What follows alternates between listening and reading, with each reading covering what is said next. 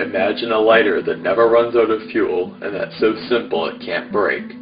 It's called a fire piston and it works by compressing air, heating it to over 800 degrees. Here's how to make one for a few dollars.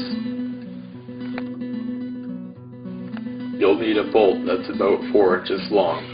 Use a saw or file to cut a groove around the end.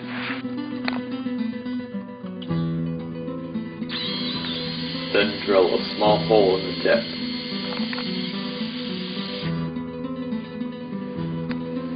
Slide an O-ring over the end. The groove you cut will hold it in place. Now you'll need a pipe that's about 3 inches long and wide enough to snugly fit around the O-ring. These can be found for about a dollar at most hardware stores.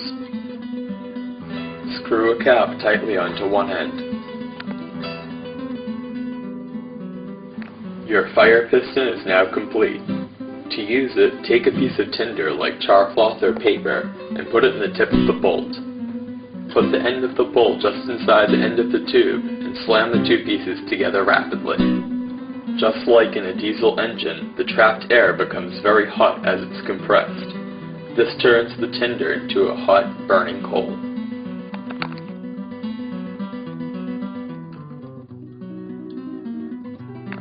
To light a fire, drop the coal into a bundle of dry grass, leaves, or paper and blow on it until it bursts into flames.